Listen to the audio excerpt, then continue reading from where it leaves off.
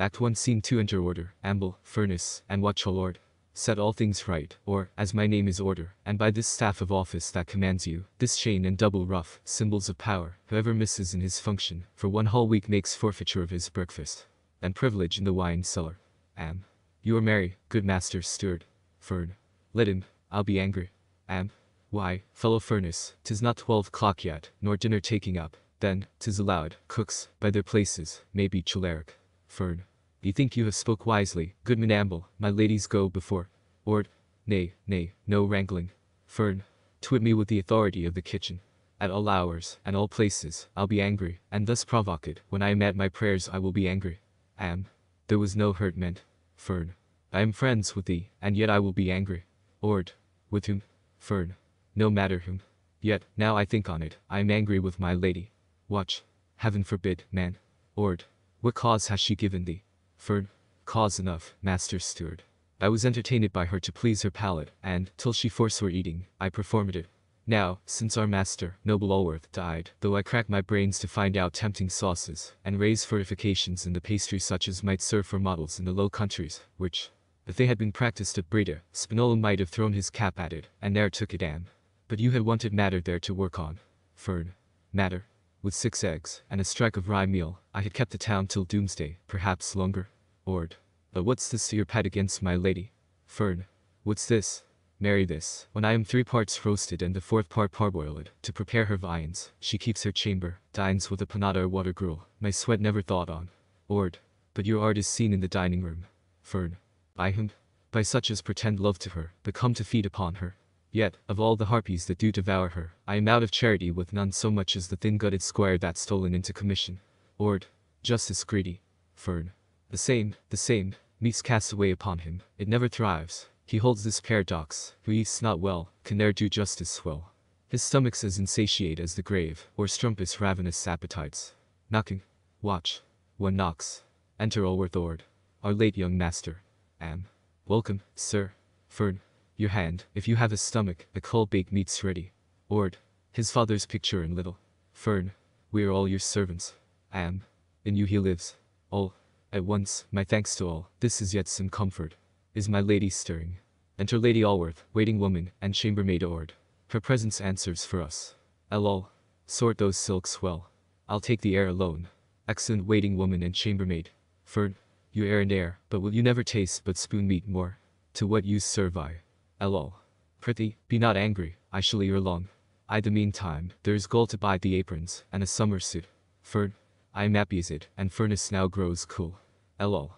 And, as I gave directions, if this morning I am visited by any, entertain him as heretofore, but say, in my excuse, I am indisposed. Ord. I shall, madam. LOL. Do, and leave them.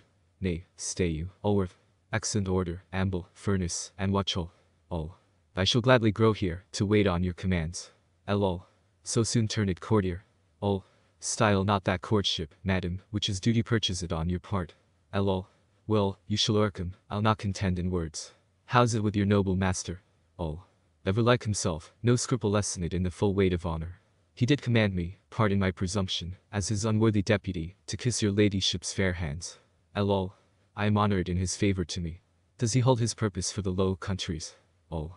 Constantly, good madam, but he will in person first present his service. Lol. And how prove you of his course? You are yet like virgin parchment, capable of any inscription, vicious or honorable. I will not force who will, but leave you free to your own election. Oh. Any form you please, I will put on, but, might I make my choice, with humble emulation I would follow the path my lord marks to me. Lol. Tis well answered, and I commend your spirit. You had a father, blessed be his memory that some few hours before the will of heaven took him from me, he did commend you, by the dearest ties of perfect love between us, to my charge, and, therefore, what I speak, you are bound to hear with such respect, as if he lived in me. He was my husband, and however you are not son of my womb, you may be of my love, provided you deserve it. All. I have found you, most honored madam, the best mother to me, and, with my utmost strengths of care and service, will labor that you never may repent your bounties showered upon me. L. All. I much hope it. These were your father's words. If e'er my son followed the war, tell him it is a school, where all the principles tending to honor are taught, if truly followed. But for such as repair thither is a place in which they do presume they may with license practice their lusts and rights, they shall never merit the noble name of soldiers. to dare boldly, in a fair cause, and for their country's safety, to run upon the cannon's mouth undaunted, to obey their leaders, and shun mutinies, to bear with patience the winter's cold and summer's scorching heat, and not to faint, when plenty of provision fails, with hunger. But the essential parts make up a soldier, not swearing, dice, or drinking. All. There's no syllable you speak, but is to me an oracle, which but to doubt were impious. Lol. To conclude, Beware ill company, for often men are like to those with whom they do converse, and, from one man I warn you, and that's Wellborn. Not cause he's poor, that rather claims your pity, but that he's in his manners so debauched, and hath to vicious courses sold himself. 'Tis true, your father loved him, well he was worthy the loving, but if he had lived to have seen him as he is, he had cast him off, as you must do. All. I shall obey in all things. Lol. Follow me to my chamber, you shall have gold to furnish you like my son, and still supplied, as I hear from you. All. I am still your creature. Exeunt. Scene 3 Enter Overreach, Greedy, Order, Amble, Furnace, Watchall, and Marrall Greedy. Not to be seen. Over. Still cloistered up. Reason, I hope, assures her, though she make herself close prisoner ever for her husband's loss, twill not recover him. Ord. Sir, it is her will, which we, that are her servants, ought to serve, and not dispute. However, you are nobly welcome, and, if you please to stay, that you may think so, there came, not six days since, from Hull, a pipe of rich canary, which shall spend itself for my lady's honour. Greedy. Is it of the right race? Ord. Yes, Master Greedy. And, how his mouth runs sore. Fern. And make it run, and run. Save your good worship. Greedy. Honest Master Cook, thy hand, again, how I love thee. Are the good dishes still in being? Speak, boy. Fern.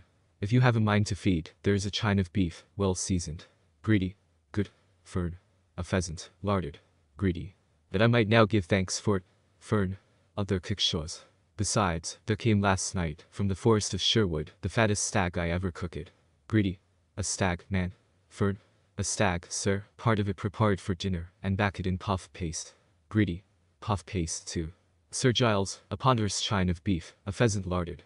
And red deer too, Sir Giles, and back it in puff paste. All business set aside, let us give thanks here. Fern. How the lean skeleton's wrapped. Over. You know we cannot. Mar. Your worships sir to sit on a commission, and if you fail to come, you lose the cause. Greedy. Cause me no causes. I'll prove it, for such dinner, we may put off a commission. You shall find it in receipt to Simil Cordo. Over. Fie, Master Greedy. Will you lose me a thousand pounds for a dinner? No more, for shame. We must forget the belly when we think of profit. Greedy. Well, you shall o'errule me, I could even cry now. Do you hear, Master Cook, send but a corner of that immortal pasty, and I, in thankfulness, will, by your boy, send you a brace of three pences. Fern. Will you be so prodigal? Enter Wellborn over. Remember me to your lady. Who have we here? Well, you know me. Over. I did once, but now I will not, thou art no blood of mine. Avon, thou beggar. If ever thou presume to own me more, I'll have thee cagged and whipped. Greedy. I'll grant the warrant. Think of Pie Corner, Furnace. Exeunt overreach, Greedy, and Marrall. Watch. Will you out, sir? I wonder how you durst creep in. Ord. This is rudeness. And saucy impudence. Am. Cannot you stay to be served, among your fellows, from the basket, but you must needs press into the hull. Fern. Prithee, vanish into some outhouse, though it be the pigsty. My scullion shall come to thee. Enter Allworth well. This is rare. Oh, here's Tom Allworth. Tom. Oh. We must be strangers, nor would I have you seen here for a million. Exit. Well, better and better. He contemns me too. Enter waiting woman and chambermaid woman. Foe, what is smells here? What thing's this? Champ. The creature made out of the privy, let us hence, for love's sake, or I shall swoon. Woman. I begin to feel faint already. Exeunt waiting woman and chambermaid. Watch. Will you know your way, Am? Or shall we teach it you, by the head and shoulders? Well, no, I will not stir. Do you mark? I will not. Let me see the wretch, that dares attempt to force me. Why, you slaves, created only to make legs, and cringe, to carry in a dish, and shift a trencher, that have not souls only to hope a blessing beyond blackjacks or flagons, you, that were born only to consume meat and drink, and batten upon reversions. Who advances? Who shews me the way? Ord. My lady. Enter Lady Allworth, waiting woman, and chambermaid Cham. Here's the monster. Woman. Sweet madam, keep your glove to your nose. Cham. Or let me fetch some perfumes may be predominant, you wrong yourself else. Well, madam, my designs bear me to you. Lol. To me. Well. And though I have met with but ragged entertainment from your grooms here, I hope from you to receive that noble usage as may become the true friend of your husband, and then I shall forget these. Lol. I am a mazza to see and hear this rudeness. Darest thou think, though sworn, that it can ever find belief, that I, he to the best men of this country denied my presence since my husband's death, can fall so low as to change words with thee? Thou son of infamy, forbear my house, and know and keep the distance that's between us, or, though it be against my gentler temper, I shall take order you no more shall be an eyesore to me. Well, Scorn me not, good lady, but, as in form you are angelical, imitate the heavenly natures, and vouchsafe at the least a while to hear me. You will grant the blood that runs in this arm is as noble as that which fills your veins, those costly jewels, and those rich clothes you wear, you men's observance, and women's flattery, are in you no virtues, nor these rags, with my poverty, in me vices. You have a fair fame, and, I know, deserve it, yet, lady, I must say, in nothing more than in the pious sorrow you have shewn for your late noble husband. Ord, how she starts. Fern, and hardly can keep finger from the eye to hear him name it. Lol. Have you aught else to say? Well. That husband, madam, was once in his fortune almost as low as I. Want, debts, and quarrels lay heavy on him. Let it not be thought a boast in me, though I say, I really did him. Was I that gave him fashion, mind the sword, that did on all occasions second his. I brought him on and off with honor, lady, and when in all men's judgments he was sunk, and, in his own hopes, not to be buoyed up, I stepped unto him, took him by the hand, and set him upright. Fern. Are not we base rogues, that could forget this? Well, I confess, you made him master of your estate, nor could your friends, though he brought no wealth with him, blame you for it, for he had a shape, and to that shape a mind made up of all parts, either great or noble. So winning at behavior. Not to be resisted, madam. Lol. Tis most true, he had. Well, for his sake, then, in that I was his friend, do not contemn me. Lol. For what's past excuse me, I will redeem it. Order, give the gentleman a hundred pounds. Well. No, madam, on no terms. I will not beg nor borrow sixpence of you, but be supplied elsewhere, or want thus ever.